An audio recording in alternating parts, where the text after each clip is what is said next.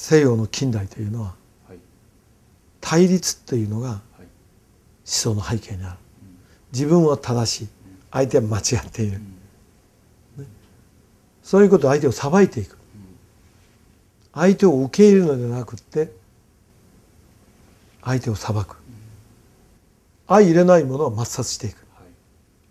だから抵抗するものは皆殺しですね。ギブアップするとそうすると奴隷ですよね。トラバーユという言葉のはい語源というのは何かご存知ですか？足かせというね。足かせ。ということはね奴隷という意味ですよ。は働くということは奴隷なんです。西洋においては。あなるほど。で日本は旗を楽にするでしょ？旗を楽にするです。はい。だからうんする。幸せ。うん旗を楽にするお互いに使い合う幸せの使えると合わせるでしょ？はい。この広辞苑見るとあ幸せって見るとね、はい。使い合うと書いてありますよ。で幸いの幸とも書くと言ってます。はい。あ。だから日本のねはい。基本的な思想は和なんですね。うん。聖徳太子の憲法17か条の第一条にあるように和をもって尊しとなす。だから和の国というのは輪っかの和ですよ。大和言葉。でそれは輪ですね車輪の輪。はい。それを心を表す時に乃木縁に口。乃木縁というのは稲ですね。稲。が口食べられる。うん。でお互いにこう手を取り合うとはい。優位ですね。丸くなる。結ぶと。はい。手を取り合うと丸すなわち和になると、ね、それが日本の基本的な考え。お互いに手を結び合うとはい。争いがなくなってみんなお食事をいただける。それが日本の基本です。でお互いに使い合う。はい。お互いのために働く。はい。旗を楽にする、はい。こういうだから日本では勤勉というのが美徳でしょ？昔から、それは西洋は勤勉は奴隷ですねだから根源が日本の成り立ちと西洋の成り立ち西洋は異民族同士がお互いに殺し合って奪い合ってきた。だから対立です。常に侵略に対して身構えなくちゃならない。そういうところから始まってますよね。全てが。だから城壁っていうのは向こうの一番基本。だからあのパリに行かれるとねあの大体あのパリの外郭は120メーターぐらいの城壁で守ってたんですよね。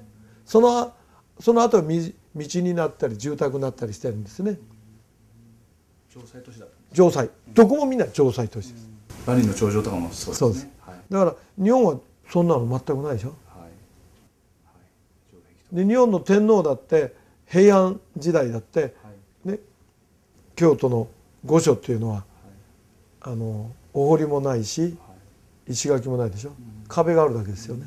これは日本の頂点ですよね。だからね日本の君主と、はい。ね、西洋の君主とは全く違う。西洋の君主はね搾取なんですよ。はい。権力なんですよ。はい。だからそれをお互いその権力と大衆との戦いですね。で例えば共産主義でもですよ。はい。同じですね。人民でしょ。で人民がし秦王朝を覆しますよね。そしたら人民のトップが共産党のトップになって今権力の中心になってるでしょ。同じですよね。はい。人民を代表しているんだけども実は権力構造の頂点になっておると。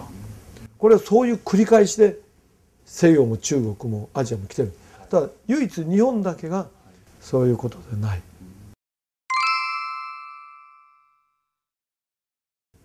だからね日本は譲り合う。はい。ね、譲る。相手も譲る。お互いに譲り合っていく。だから日本の日本語はね謙譲語が多いんですよ。世界でほとんど謙譲語というのはないんですよ。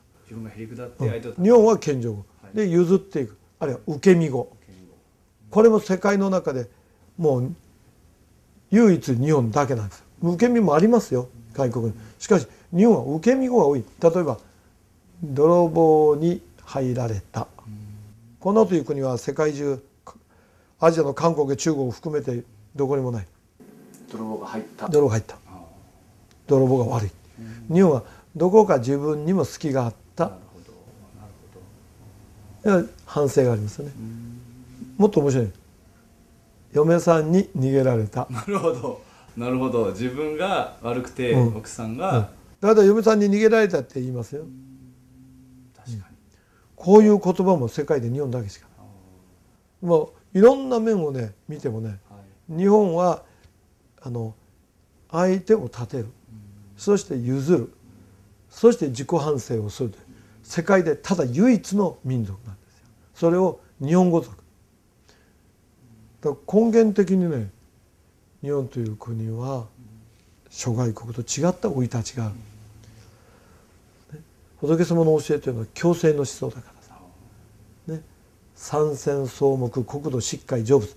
山も川も草も木も国土も全てことごとく身仏の命のあられたもうたものなどだから当然人間も動物も虫もお野菜も全て仏様のお命のあられなんだ根源的にはみんな平等なんだという思想ですよねそれは本の神道で来るはい矢をよろずの神々というのと全く合一してるわけですね。このような素晴らしい世界に比類のない仏教を敬う仏様を敬うご先祖様を敬うそういうお仕事をなりわいとしているんだと。だ世界で最も平和な最も豊かなお仕事なんだなと。